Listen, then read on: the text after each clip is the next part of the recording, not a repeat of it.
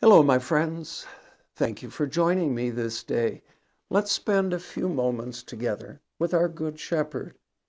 I read from Matthew chapter 27, starting with verse 38. At the same time, two criminals were crucified with him, one on the right and one on the left. People who passed by kept insulting him, shaking their heads and saying, You who are going to destroy the temple and rebuild it in three days, save yourself. If you are the Son of God, come down from the cross. In the same way, the chief priests, experts in the law, and elders kept mocking him. They said, He saved others, but he cannot save himself. The physical pain that Jesus endured on the cross must have been beyond excruciating, but it was only made even more agonizing by the ridicule and insults of the people. Out of boundless love for these very people, Jesus left the throne of heaven. But instead of the praise of angels, he received the insults of man. Instead of being praised by the heavenly hosts, he was ridiculed by his very creation. In love, he sacrificed himself, but his own people heaped abuse on him and, and shame on him.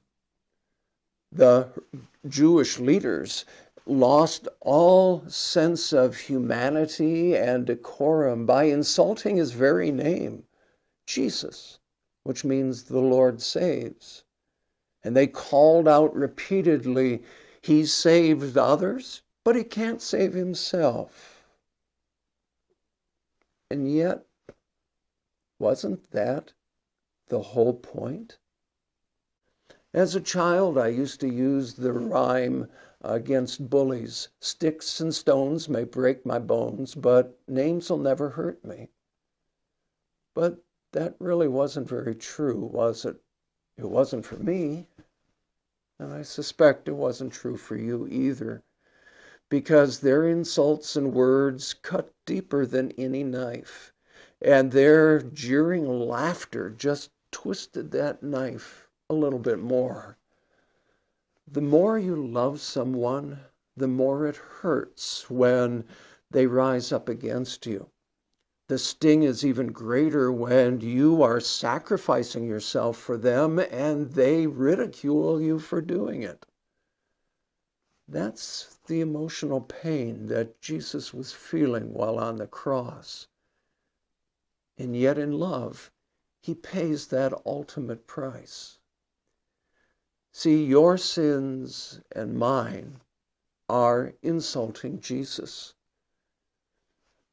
They insult his sacrifice, his forgiveness, his suffering, his death. Our rebellions cut him deeper than any knife could. And yet he endured it all for us. And now through Jesus we are forgiven, redeemed, and not insulted by God, but praised by him.